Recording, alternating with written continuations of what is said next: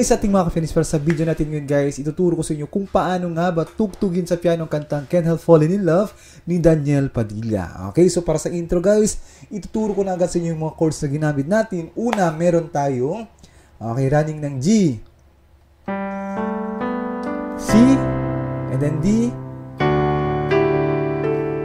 minor, and then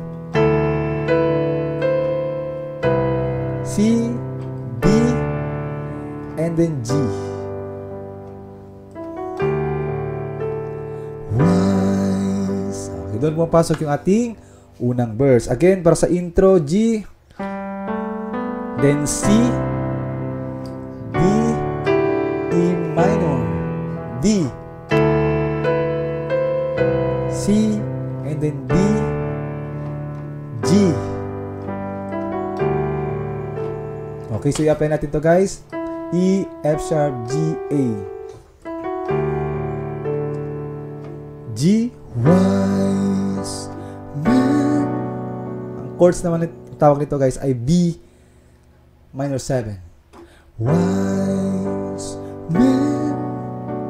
C minor 7. Mm, Then D sus then D.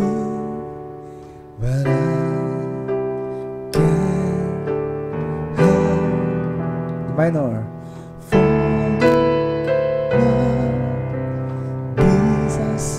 And then G. Okay, and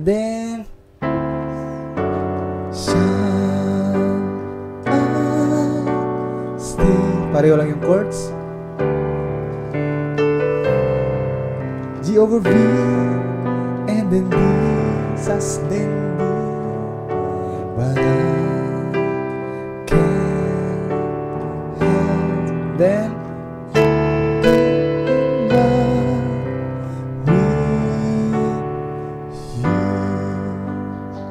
Okay, and then para naman sa ating chorus, okay, para sa last chord natin na G.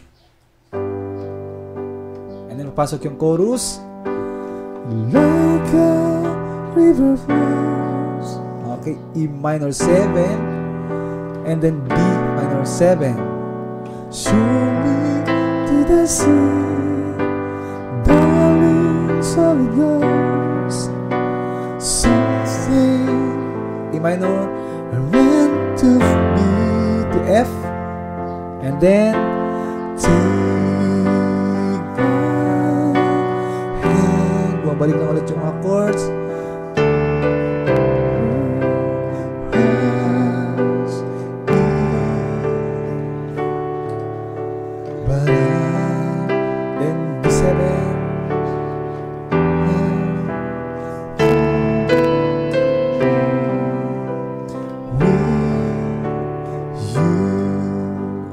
After ng third verse guys, doon papasok yung instrumental part. So yung ginagamit natin chords dito ay yung mga chords lang na nasa verse. And G,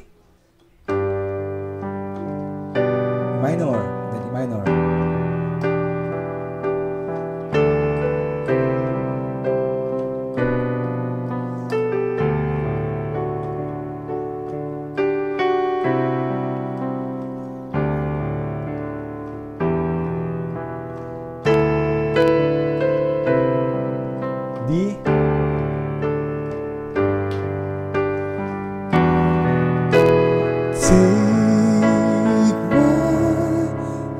Ngayon guys, sa last chorus natin, tumaas yung chords natin dito. So, from D over E, ganito siya.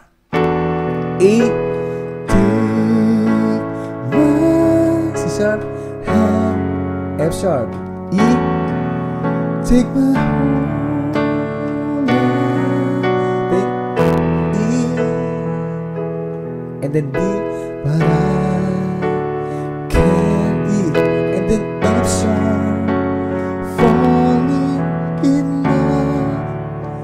then E, A, and then last chord, but I D, can E, and then F sharp, in love, and then E with you. So, hanggang dito na lang guys. Sana may natutunan kayo. So, thank you for watching.